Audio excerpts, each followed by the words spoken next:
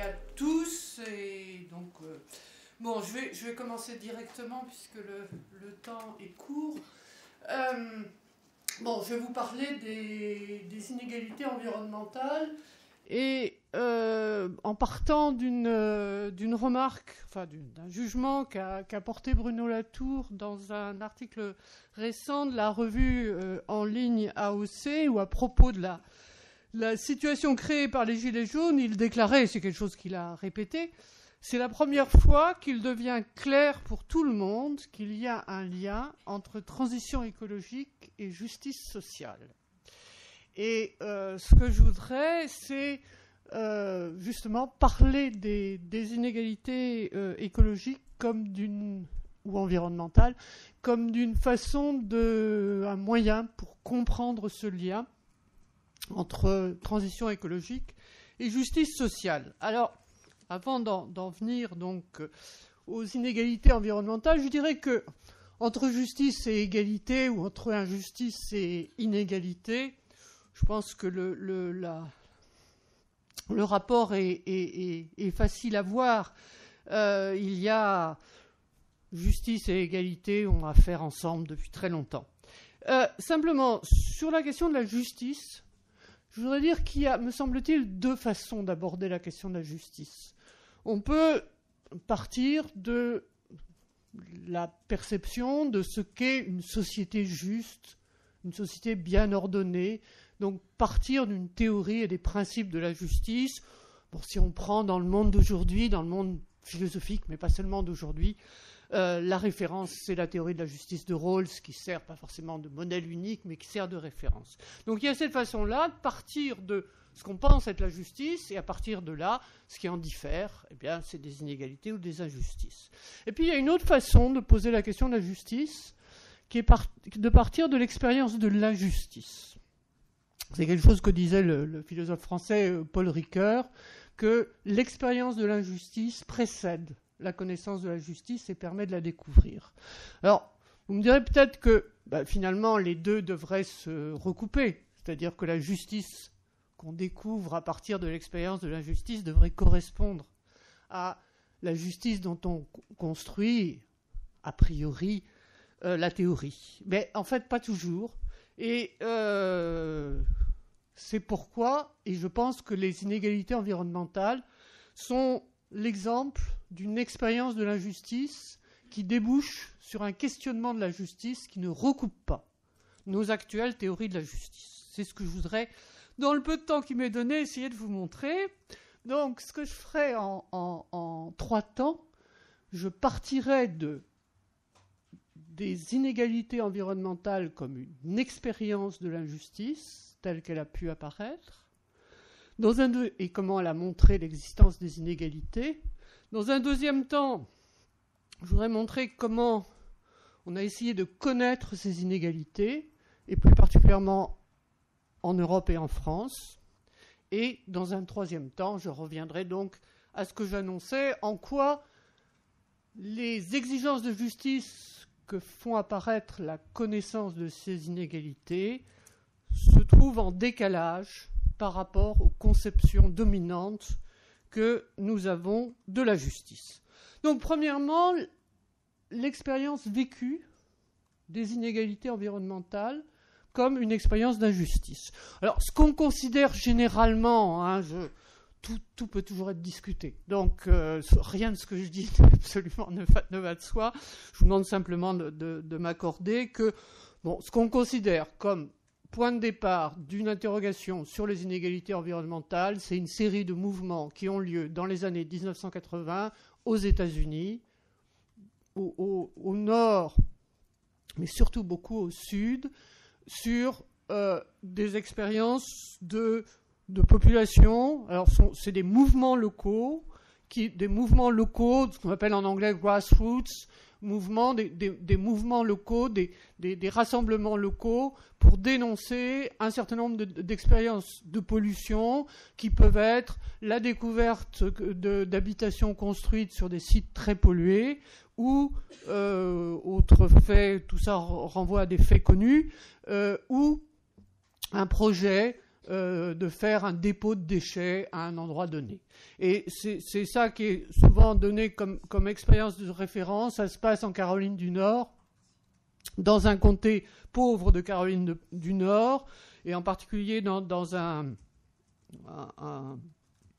un, endroit où il y a une population à 80% euh, afro-américaine ou latino-américaine qui se mobilise contre un, projet euh, de, faire finalement de ce comté pour tout l'État euh, une décharge de, produits extrêmement pollués. Comme la population est à majorité, la population qui se mobilise est à majorité afro-américaine, ce mouvement se conjugue avec ce qui l'a précédé, c'est-à-dire le mouvement pour les droits civiques, et donc la mobilisation est portée par la, mobilisation sur les droits civiques, et on va parler à, propos de ce, mouvement qui dénonce le fait qu'une population donnée dans un lieu donné va euh, être exposée à, à, des, à, des, déchets, c'est en, PCB, mais peu importe, euh, on, va parler de racisme environnemental. C'est-à-dire, on va, on va, dénoncer le fait qu'un certain nombre de populations ethniques ou, racialement déterminées, comme on dit, euh, sont euh, prioritairement choisies euh, pour supporter des conséquences de pollution. Alors, à partir de là, et en rassemblant d'autres phénomènes du même genre, on peut dire, on peut définir les inégalités environnementales par le fait que euh, certaines populations sont différents individus sont affectés par les dégradations environnementales de façon disproportionnée. Hein. L'idée est que les problèmes environnementaux et les dégradations environnementales atteignent tout le monde, nul n'y échappe, mais que certains sont plus frappés que d'autres.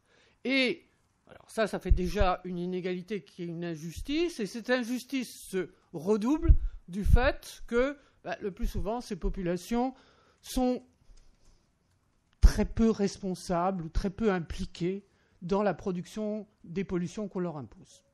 Donc avec ça, vous avez un schéma euh, qu'on peut généraliser euh, des inégalités environnementales où on peut dire que euh, ça, concerne aussi bien en matière dont, si vous voulez, d'exposition, aussi bien l'exposition aux risques naturels qu'aux risques industriels comme ceux que je viens de citer, et aussi bien aux, euh, accidents exceptionnels que à, la vie quotidienne.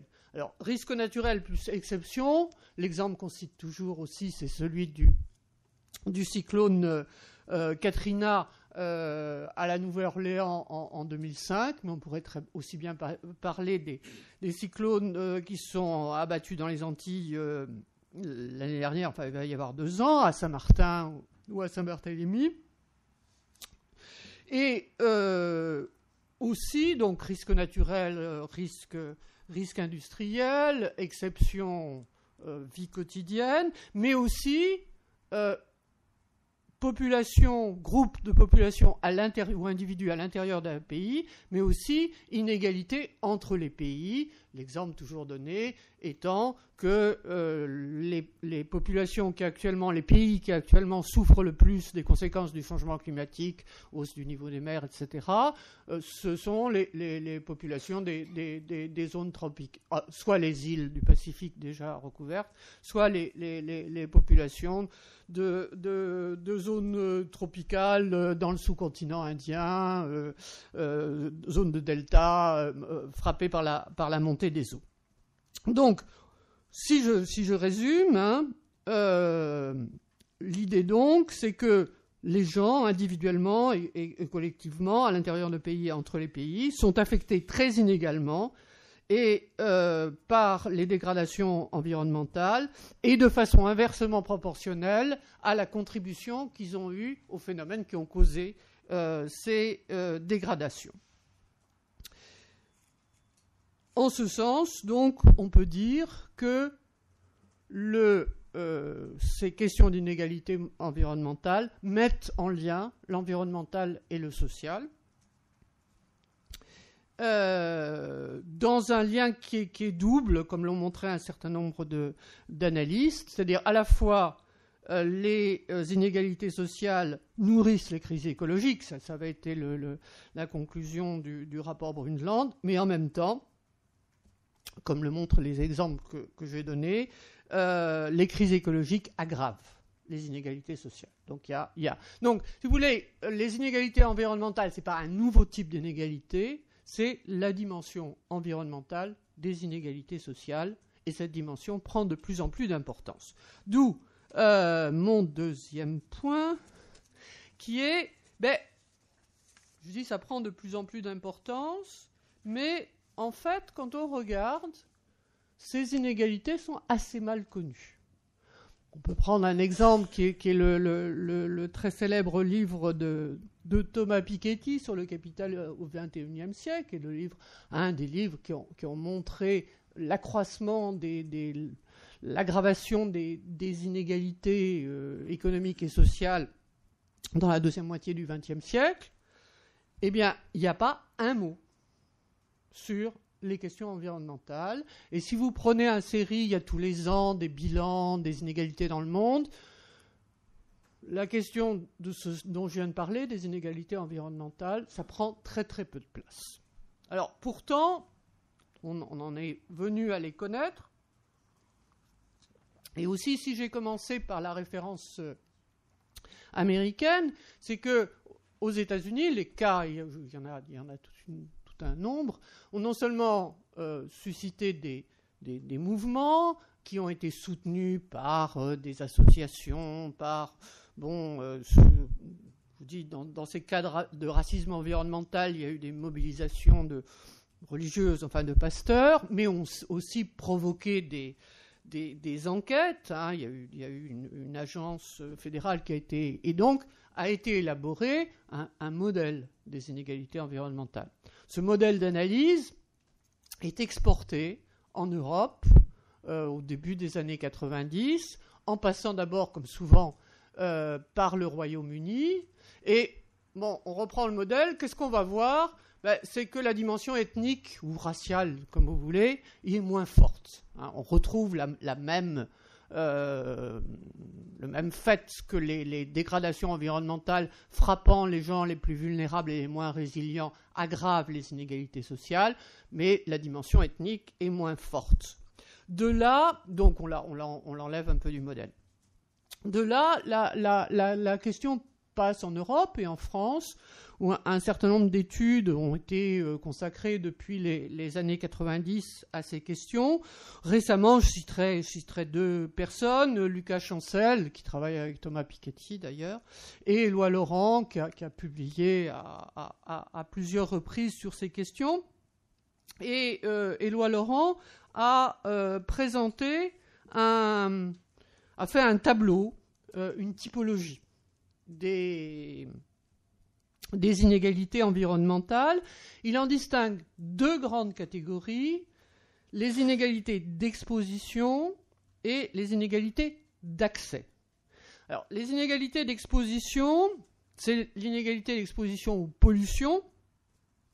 Et suivant une façon de faire qui est très très très classique dans les questions environnementales, il les distingue suivant les éléments, hein, suivant la vieille théorie des éléments, l'air, l'eau, le sol. Simplement, au feu, euh, on rajoute, en fait, on rajoute la chimie. Hein. le, feu est remplacé par la chimie, donc il y a l'exposition euh, aux, pollutions euh, aériennes, aquatiques, terrestres, et puis les questions des agents polluants, dont les pollutions chimiques, mais pas seulement, puisque le bruit, par exemple, peut être considéré comme un polluant. D'autre part, les expositions d'accès aux ressources naturelles avec une distinction entre ce qu'on pourrait appeler les ressources primaires, et en particulier l'eau, hein, l'inégalité d'accès à l'eau, potable, à l'eau pour l'hygiène, est un des grands facteurs d'inégalité dans, beaucoup de pays du monde. Et puis d'autre part, euh, l'inégalité d'accès à ce qu'on appelle les, aménités, hein, donc au contraire, euh, disons un petit peu le, luxe de, ce qu'on recherche, la, proximité euh, de la forêt, de la montagne, du grand air, etc. Alors je voudrais, m'arrêter un tout petit peu sur ce tableau parce que il, il, me paraît un important pour différentes raisons que je vais essayer de résumer rapidement. Bon, les inégalités d'exposition, c'est ce dont je suis parti avec la, question des mouvements de justice environnementale euh, aux États-Unis, hein, dénonçant euh, l'exposition pollution. On retrouve hein, la, même, le, même point de départ, simplement il est généralisé, il est, il est classifié suivant. Bon, je ne reviens pas sur les éléments. Je dirais ce qu'on met en évidence et là aussi, sur ces inégalités d'exposition, euh, je reprendrai une formule des lois Laurent qui parle, je cite, de la capacité des riches à imposer les coûts de leurs comportements environnementaux aux plus pauvres. Ah, on peut dire que c'est ça, euh, c'est un aspect fondamental des inégalités environnementales. Quand je dis certaines populations les moins résilientes, les plus vulnérables et les moins résilientes sont exposées de façon disproportionnée aux conséquences de, euh, dégradation dont elles sont très peu responsables. Euh, la phrase des lois Laurent euh, résume cela et ça peut prendre quantité d'aspects. Je ferai là-dessus deux remarques. La première, c'est qu'il est très difficile dans, l'étude qu'on fait de, ces mécanismes de production des inégalités environnementales, de distinguer ce qui est ce qu'on pourrait dire un effet de situation, hein, la, conséquence non voulue d'un certain nombre d'actions, et ce qui est plus ou moins intentionnel, ou en tout cas ce qui dont on a négligé de se rendre compte, mais n'aurait pu se rendre compte, ou même ce qui est intentionnel. Je m'explique. Euh, vous savez peut-être, c'est quelque chose qu'on cite très souvent, hein, que Laurence Summers, qui a été économiste en chef de, la Banque mondiale avant de présider l'université de Harvard, a expliqué que pour les pays les plus riches, exporter euh, leur pollution vers le sud pour procéder, par exemple pour faire désamianter des, euh, des, des, des, bateaux ou, des, ou des, éléments quelconques, était économiquement était d'une logique économique impeccable, vu que les salaires étant beaucoup plus bas dans les pays les plus pauvres, la vie est moins chère, et c'est tout à fait normal d'avoir des coûts plus faibles. Hein. Euh, donc, il y a. Bon. Euh, on, peut dire aussi, on l'a montré, ça a été très montré, toujours sur cette idée d'exporter. C'est une façon de faire payer aux pauvres les, le, le, prix des, des pollutions, hein, quand on exporte ces pollutions. Bien, bien que l'exportation de matières polluées soit interdite et qu'il y a en Europe un certain nombre de, règlements là-dessus, ces règlements sont systématiquement tournés. Hein. là, vous voyez qu'on n'est pas dans un effet, un effet de situation, on est dans une conduite délibérée. Dernier point sur ces, sur ces, ces, inégalités d'exposition et le mécanisme euh, qu'on trouve derrière, c'est que dans ces euh, situations environnementales qui, crée ou renforce les inégalités sociales, il faut comprendre les politiques écologiques. Un certain nombre de politiques publiques prises pour euh, lutter euh, contre les, dégradations écologiques ont souvent des effets sociaux renforçant les inégalités. La fiscalité écologique, que je ne développerai pas, que j'ai entendu dire parfois régressive, euh, en est un exemple Alors, sur les inégalités d'accès, je voudrais aussi faire un, commentaire parce que ça me paraît important. Bon, d'une part, bon, on peut dire que euh, d'abord, ça insiste sur l'accès, hein, qui est, qui est un, élément quand on en, reste à une vision économique un peu abstraite de, l'accès, justement, j'allais aux ressources, on parle des ressources et on ne prend pas en compte l'accès aux ressources, donc ça met, ça l'accent sur l'accès. Euh, mais je voudrais insister plutôt sur, euh, sur la question des aménités, parce que ça peut paraître secondaire. Mais disons que dans, l'aggravation de la, situation écologique, euh, ce n'est pas seulement les pollutions et, bon, et d'autres effets qui s'aggravent, c'est aussi ce que de la nature on cherche à préserver qui se raréfie. Hein. L'accès à une nature agréable, au bon air, à la promenade en forêt, au, bord de la mer, devient une denrée rare et pour cette raison-là, à être monopolisé ou privatisé. Donc vous avez, avec les inégalités d'accès aux aménités, le mécanisme inverse de celui de l'exposition aux pollutions. Il ne s'agit pas, pour les plus riches et les plus puissants, de faire payer aux plus pauvres les frais de lutte contre des dégradations. Il s'agit de se réserver hein, le monopole euh, d'une situation euh, euh, qui est recherchée. Donc, si je conclus cette deuxième partie, avant d'en venir à ma troisième et dernière, si on veut, si vous voulez, le, problème de ces inégalités, c'est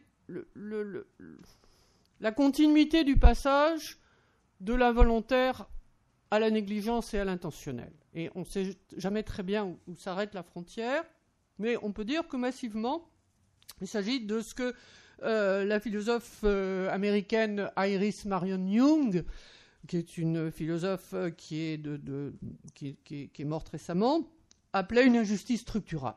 Hein, c'est-à-dire que c'est pas seulement. Il y a des règlements, il y a des règlements qui sont tournés, mais on peut dire que c'est la, structure sociale qui crée, hein, la structure des sociétés qui crée ce genre d'injustice. Alors j'en viens donc au, troisième point et dernier, qui est bon, si, on, si on prend conscience de ces injustices,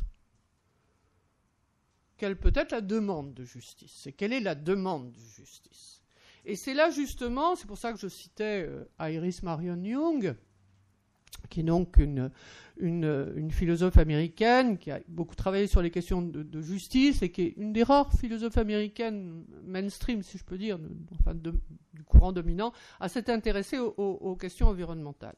Et justement, très peu de temps, au moment euh, de, l'affaire que je vous ai rapportée, hein, l'affaire du comté de Warren, hein, ce comté de Caroline du Nord, où, des populations euh, euh, principalement afro-américaines se sont mobilisées contre un, projet d'implantation d'un dépôt de déchets, a écrit un article et a dit mais de quoi s'agit-il? Il y a une injustice, mais de quelle justice s'agit-il? Et elle a dit mais c'est pas une question de distribution.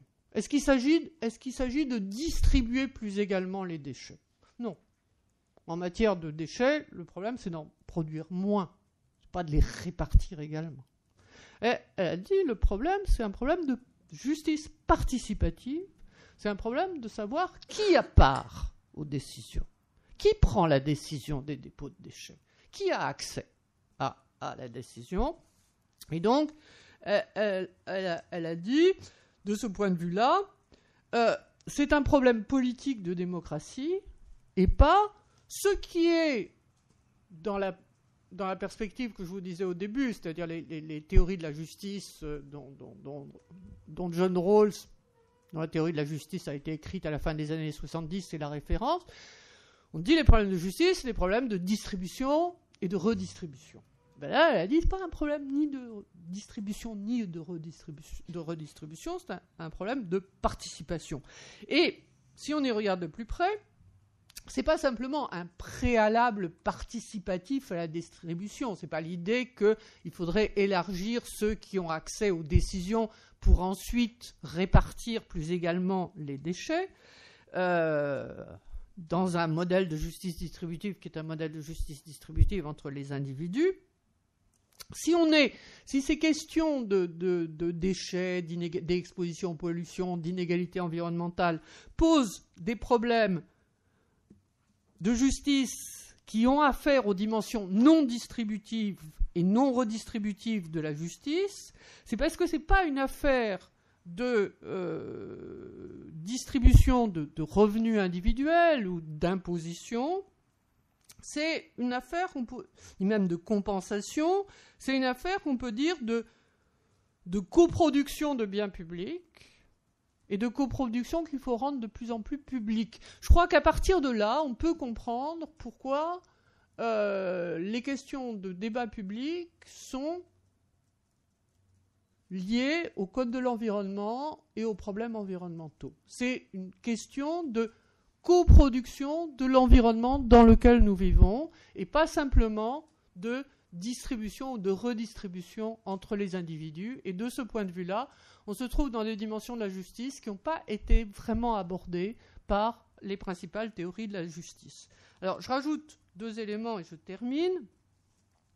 Une autre philosophe américaine et une autre femme, je vais revenir à la question des femmes, euh, s'appelle Nancy Fraser. Alors elle aussi, c'est une, c'est une philosophe américaine, mais qui est un petit peu aux frontières des, formes dominantes des théories de la justice. Elle, elle a introduit Habermas, donc le philosophe allemand, euh, aux États-Unis, et donc elle a introduit beaucoup la question de la délibération. Mais elle, et donc elle a fait apparaître aussi que toutes les, questions de justice ne sont pas des questions justement de, toutes les injustices ne sont pas des injustices de redistribution, mais ce sont ce qu'elle a appelé des injustices culturelles qui en appellent non pas à une meilleure distribution ou redistribution, mais à une reconnaissance. Je vais prendre sur les questions, je n'ai pas le temps, mais pour vous faire saisir sur les questions environnementales, un exemple très simple qui est si vous prenez un lac, euh, mettons au Canada, euh, au nord du Québec, euh, où il y a des poissons, et ce lac est pollué, les, poissons deviennent, mauvais à manger. Suivant que ces poissons sont mangés par des gens qui ont des maisons de campagne, qui viennent là de temps en temps, qui pêchent 3-4 poissons et qui font du barbecue, qu'ils sont mangés par les, habitants blancs du coin, mais qui sont pauvres, euh, qui, achètent de la nourriture de, mauvaise qualité, déjà pas mal polluée dans les supermarchés du coin, et qui prennent un peu de poisson parce que ça, ça coûte pas cher. Ou que vous prenez une, c'est pour ça que j'ai pris un lac au nord de Québec, ou que vous prenez une tribu autochtone qui, elle, mange du poisson tous les jours, parce que ça fait partie de ses modes de vie, de sa culture, eh bien, vous n'aurez pas les mêmes effets des pollutions. Et si vous ne reconnaissez pas ça, si vous ne reconnaissez pas ces différences culturelles, qui sont aussi des différences collectives, eh vous allez passer à côté d'injustices importantes. Donc il y a une question de reconnaissance et pas simplement de répartition entre des individus. Donc, pour terminer, je dirais que ce que je voudrais, j'ai voulu vous montrer, c'est que les inégalités environnementales, c'était une dimension des inégalités sociales, mais qui conduisent à une autre vision du, du social, qui conduisent à une vision du social qui n'est pas centrée uniquement sur la question du travail, du salaire, mais qui est centrée sur les conditions de vie et sur le milieu de vie. Et c'est là que vous voyez le, passage des hommes aux femmes. Tous les mouvements dont je vous ai parlé, les femmes y sont majoritaires.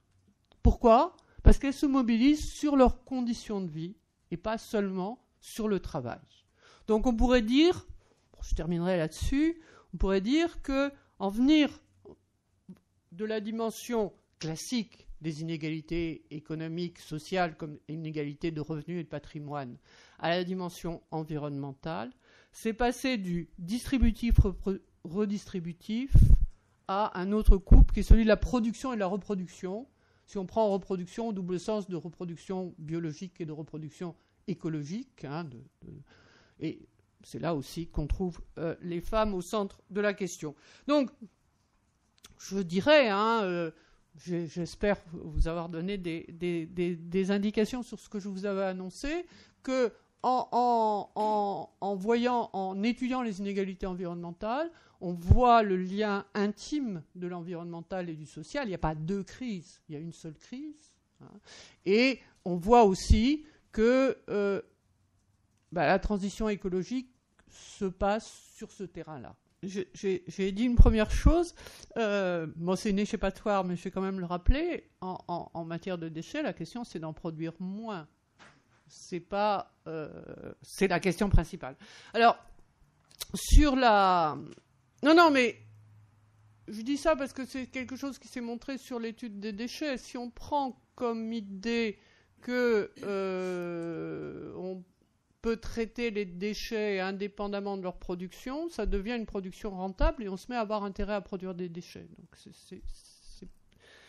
c'est pas si idiot que ça a l'air, ce que je viens de dire.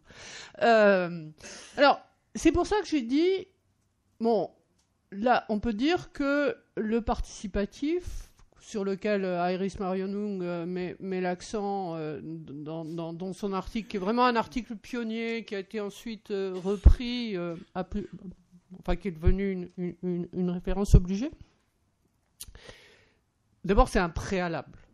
C'est-à-dire que la question de qui a accès aux décisions est extrêmement importante. Bon, quelque chose que Éloi Laurent montre en France pour que vous ne vous disiez pas que c'est quelque chose qui, n'existe qu'aux États-Unis. Alors, je ne suis pas économiste, donc je n'ai pas comme ça le chiffre qui vient facilement. Euh, mais euh, suivant que il montre que euh, suivant le, niveau de richesse et le niveau de pouvoir, la probabilité qu'il y ait implantation d'une usine d'un dépôt de déchets, euh, augmente considérablement. Hein. Moins, on a de pouvoir et moins on a d'argent, euh, plus, on plus on risque d'être exposé aux pollutions. bon, parce qu'on n'est pas prévenu avant. Donc il y a un problème là-dessus, je dirais, important je pense qu'il y a un deuxième problème. C'est là que je disais, c'est pas simplement un préalable participatif et ensuite on, répartira les déchets. Euh, c'est une question de construction collective, donc ça, demande que ça soit continué. Et bon, la question que posait euh, Iris Marion Young et sur laquelle je n'ai pas une réponse immédiate, mais c'était, ben, au fond, ça remet en cause, alors je sais Michel que ça va pas te plaire, mais ça, ça, ça remet en cause une certaine conception de l'intérêt général. Ça, ça, ça, remet en cause l'idée que on, on, on, pourrait euh, décider de façon générale du, du, bien, du bien général. On va mettre des déchets à tel endroit. Et et ensuite demander aux gens d'accepter, d'une façon ou d'une autre. il y a différentes façons d'accepter. Et ce qu'elle disait, c'est. Euh, ce que disait Iris Marion Young, c'est. Ben, si, nous, si, les, si les gens de Caroline du Nord disent nous, on n'en veut pas, de quel droit vous leur diriez il faut l'accepter Est-ce que vous, vous, vous allez si vous-même vous en voulez pas, pourquoi vous nous l'imposeriez? Et euh, alors je donnerai là-dessus toujours, je suis un petit peu dans les références américaines, mais euh, est-ce qu'on va l'accepter avec des compensations ou est-ce qu'on va l'accepter comme un devoir citoyen? Il y a un exemple qu'on donne toujours dans les livres de, philosophie morale qui est un, sais c'est un sondage ou, un référendum, je sais plus. Mais y aurait des faits en Suisse, où on demandait aux gens, euh, c'était à propos de déchets, nucléaires, euh, si on vous demande d'accepter un dépôt de déchets comme un devoir de citoyen, est-ce que vous le ferez? Et 50% avaient répondu oui. Des gens très, très civiques, les Suisses. Et là-dessus, on leur demande, et si on vous donne de l'argent pour accepter les, dépôts, est-ce que vous accepterez? Et il n'y a plus que 30% qui disent oui. Donc, euh, à partir du moment où on, ne, produit... c'est comme ça que vous voulez. C'est des résultats qui sont toujours donnés. Euh, la, motivation citoyenne est plus forte que la motivation intéressée. Alors, sur la fiscalité non, j'ai été très allusif, très rapidement, très rapide. Disons que le, terme de, fiscalité régressive, l'expression, je l'ai entendu euh, employée par une, euh, un, membre du PS, dans un, du Parti socialiste, dans un dans, une réunion, dans un, dans un meeting, et ça m'avait euh, frappé.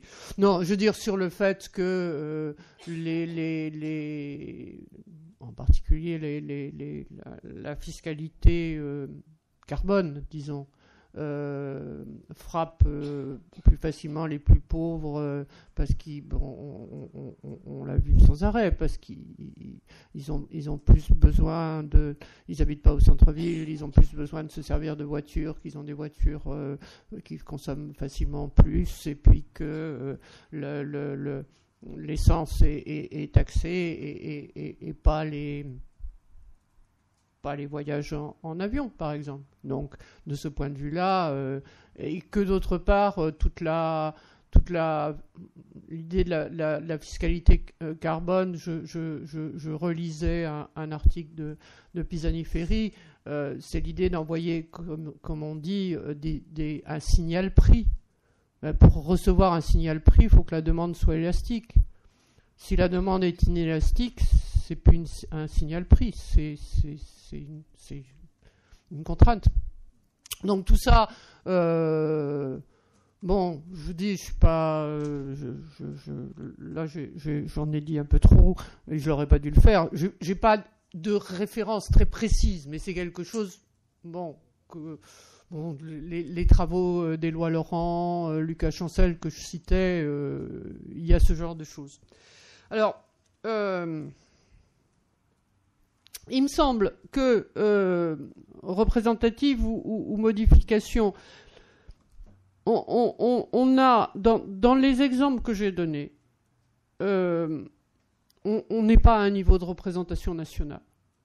Je crois qu'on est beaucoup dans, des, échelles territoriales, dans des décisions qui se prennent euh, dans des communes, dans des communautés de communes. Donc, c'est alors, pas pour la fiscalité, bien évidemment, mais pour tous les exemples que j'ai donnés, euh, il me semble que euh, la, question est beaucoup plus des, formes de, participation, de prise de décision à, des échelles plus locales.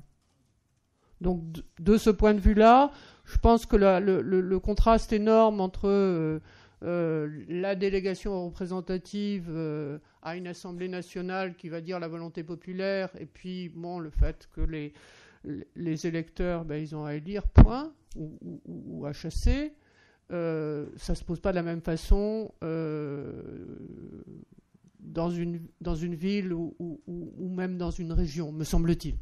Dans ce que j'ai dit sur le mécanisme général des inégalités environnementales, euh, qui consiste à, faire peser euh, sur les plus pauvres euh, le poids d'une crise environnementale, ou appelez-la comme vous voulez, hein,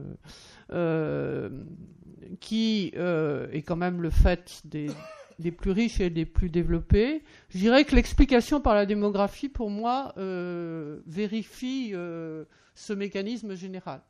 Hein, parce que si, si, vous regardez la façon dont, intervient la, question démographique dans la prise de conscience de la, crise environnementale, c'est à, la, fin des années 60. Euh, c'est là que tout, se met en place. Euh, c'est le, livre des époux Ehrlich, La bombe démographie, hein, qui euh, met sur la scène. Et à partir de là, il va y avoir constamment alors, je ne dis pas que c'est sans, importance, bien évidemment, mais en même temps, va, se développer une réflexion qui va montrer que bah, chaque individu dans le monde ne pèse pas le même poids écologique. Hein, et donc, l'invention, enfin l'invention, la mise au point euh, de l'empreinte écologique, euh, la démonstration que le nombre n'est pas toujours un problème. Nous dirons au-delà, vous savez, les, les statistiques qu'Oxfam aime, bien. Hein, euh, un, Américain consomme 30 euh, fois ce que consomme un, citoyen du Burkina Faso. Au-delà de ça, le, nombre des gens n'est pas toujours un problème. Hein. L'occupation, enfin je veux dire, le, type d'occupation de l'espace n'est pas uniquement une fonction de, la, de la densité démographique.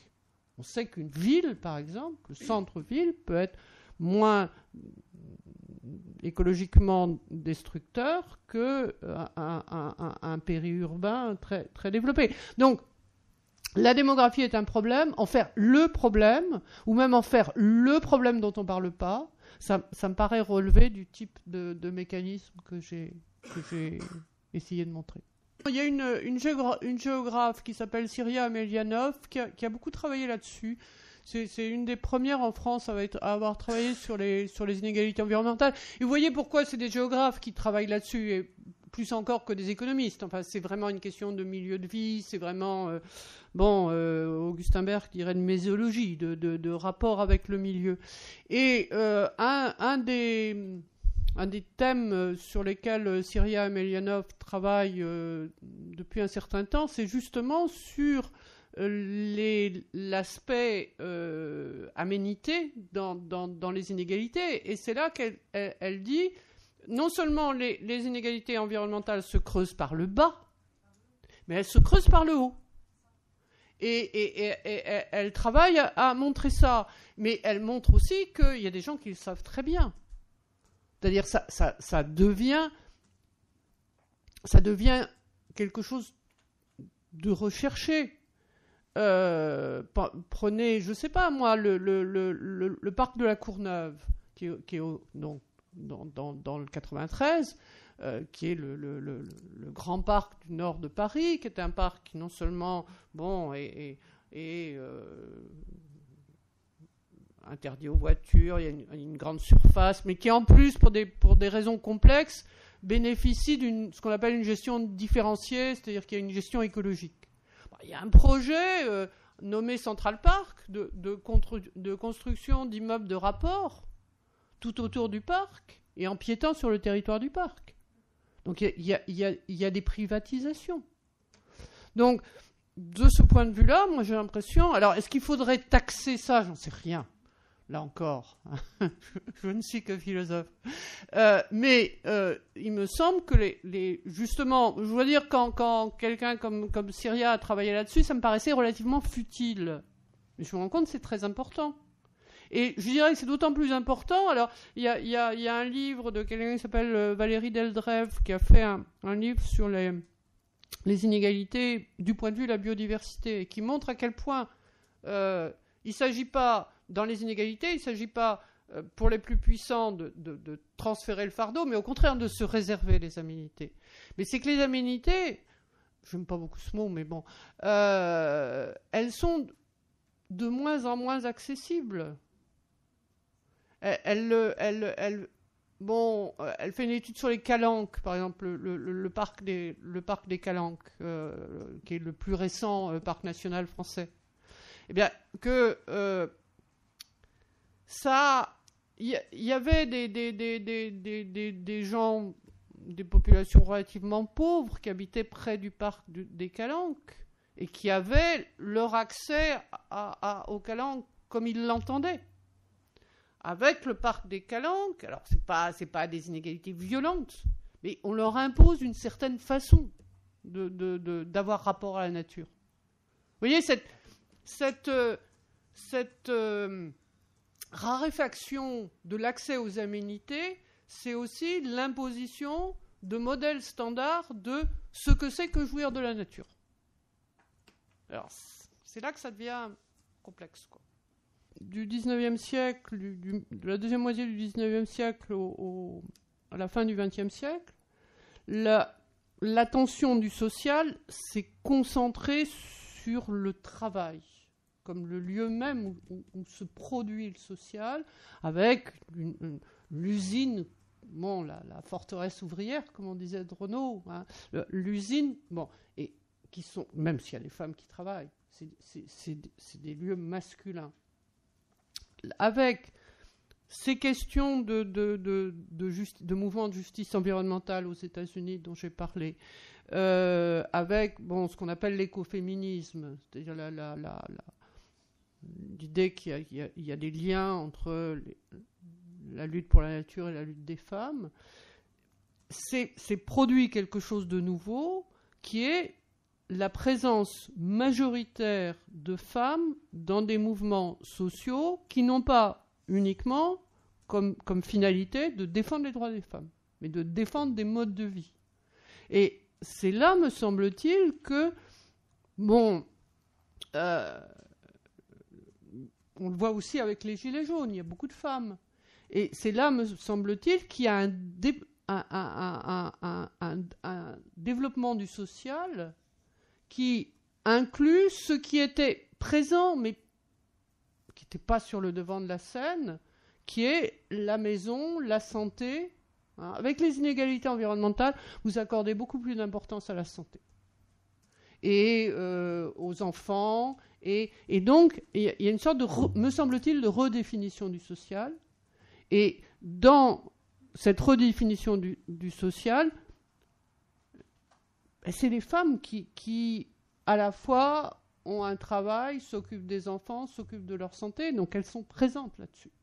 Et je pense que c'est un, changement qui, me paraît extrêmement important, que vous voyez aussi, euh, bon, les, les, les Bon, des gens très très connus comme Vandana Shiva, mais il y a des quantités de, de, de, mouvements euh, dans, dans, dans, le Sud, en, Afrique, en Amérique du Sud, en, en Asie du Sud-Est, qui sont à la fois des questions environnementales et sociales, et où les femmes prennent une importance très grande. Donc je pense qu'il y a un changement.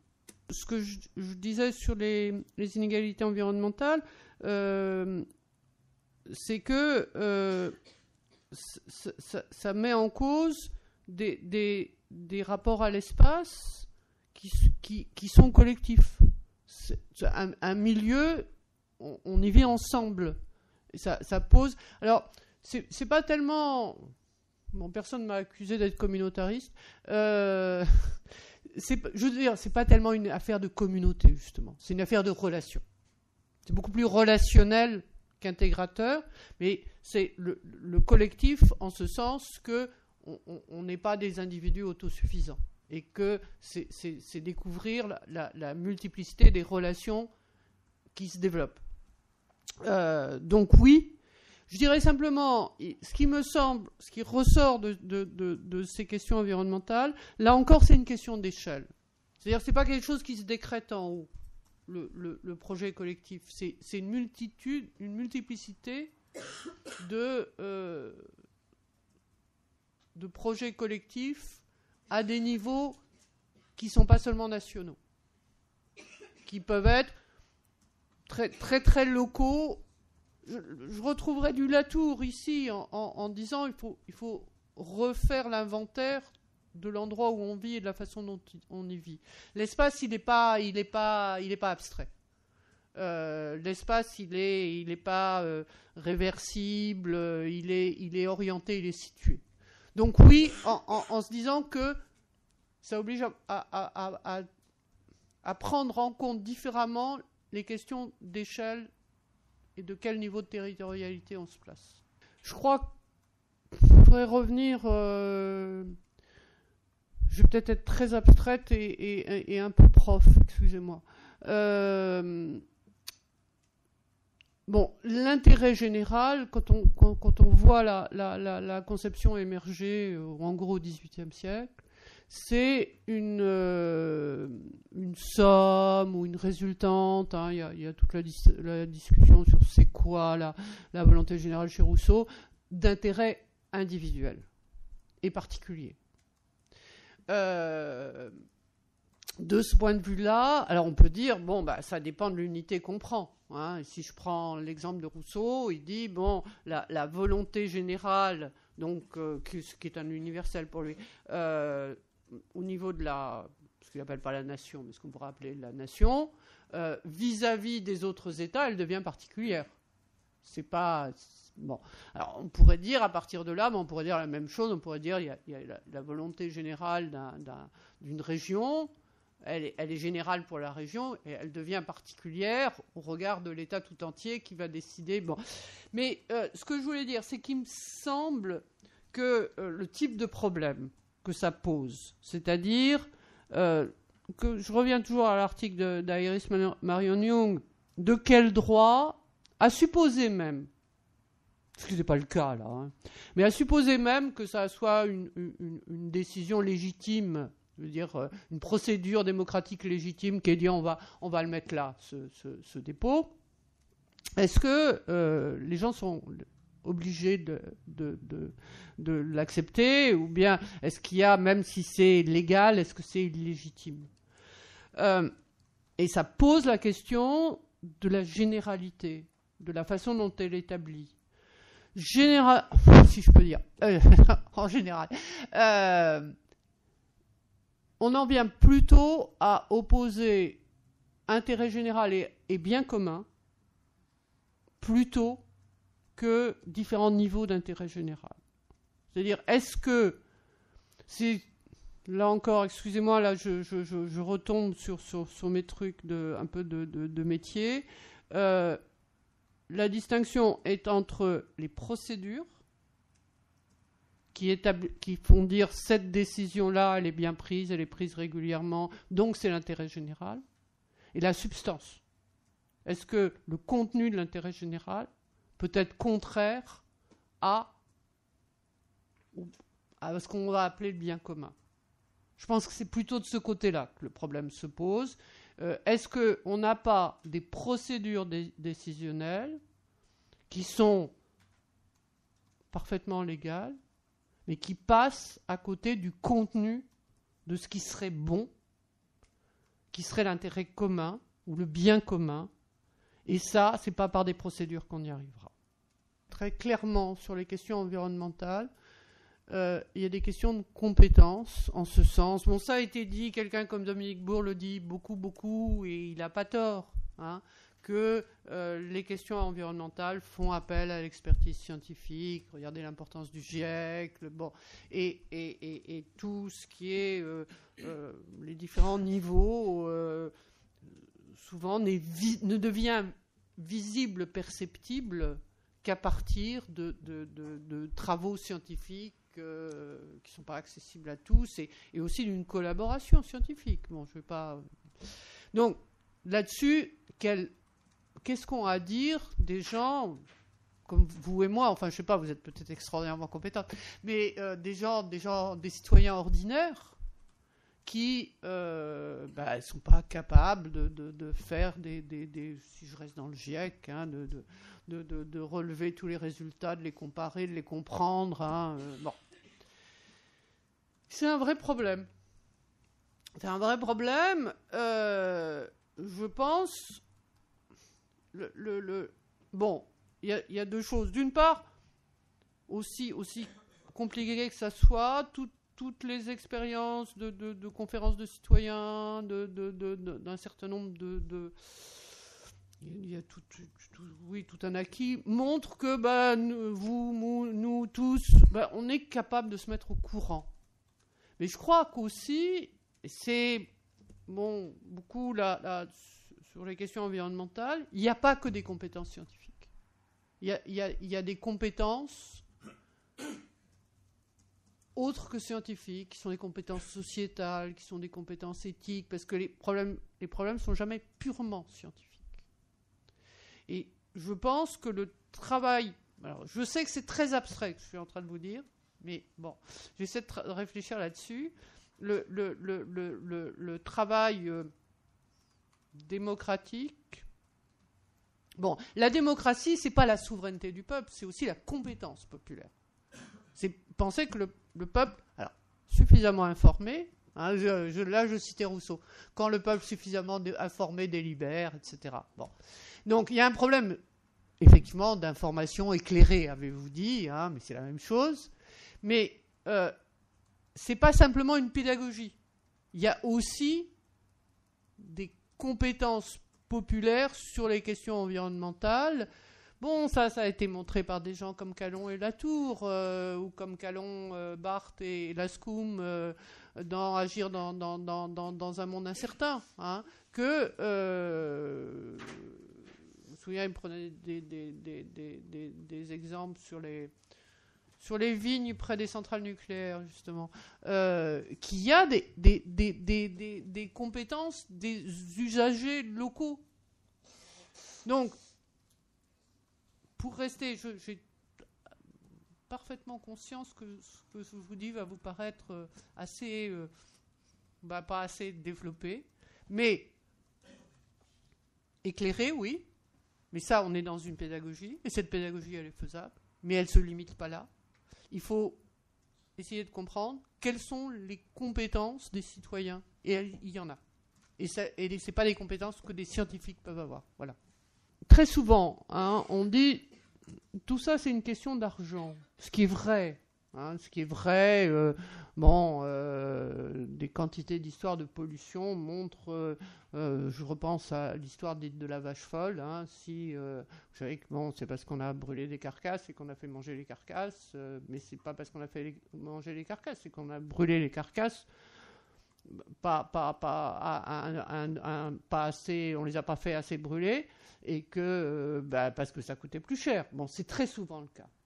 Mais ça n'est pas que ça. Ça n'est pas que ça, en ce sens qu'on se rend compte quelquefois il y a énormément de gaspillage d'argent. Ce n'est pas toujours la, solution la moins chère qui l'emporte. Donc, je pense qu'il y a aussi des, rapports de force, qu'il y a euh, un goût du pouvoir pour le pouvoir, euh, que tout n'est pas affaire d'argent. Parce que si tout était affaire d'argent, euh, il y a vraiment des dépenses qui ne s'expliqueraient pas. Et euh, d'autre part, sur essayer d'acheter, ce qui est alors très net, il y a, y a, euh, y a une thèse qui a été faite par, euh, par une italienne sur, sur, la, sur vaisseaux. Vous savez, ces vaisseaux, la, la, la, la pollution chimique euh, d'une usine euh, pharmaceutique a, complètement euh, eu des, effets catastrophiques sur un, sur un, sur un village italien. Et elle, a fait son. Elle a, fait sa, sa, thèse. Alors, l'entreprise responsable n'a jamais reconnu sa responsabilité, mais a payé. Les gens n'ont pas été contents du tout. Parce que là aussi, ils estimaient que c'était un dommage collectif qui leur avait été fait, que ce dommage avait été fait à Céveso même, c'était un dommage écologique, hein, c'était avant qu'on ne parle de préjudice écologique pur, mais c'était ça, et qu'ils étaient pris aussi dans ce dommage, et que on, ne ferait rien par des compensations individuelles, qui en plus divisent les gens. Donc, oui, bien sûr, l'argent est extrêmement important. Euh, Penser que ça n'est que ça, je crois que c'est faux.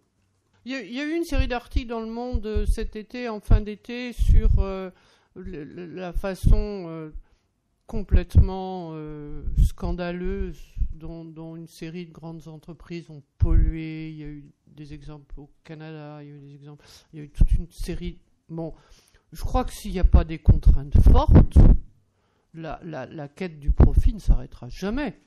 Je ne crois pas que aucune entreprise ne, va dire je m'arrête là parce que l'intérêt général. D'autant plus qu'on on, l'a bien dit, hein, l'intérêt général, ça peut être l'intérêt d'un pays, mais pas l'intérêt complètement international. Or, euh, elles sont plus nationales, les entreprises.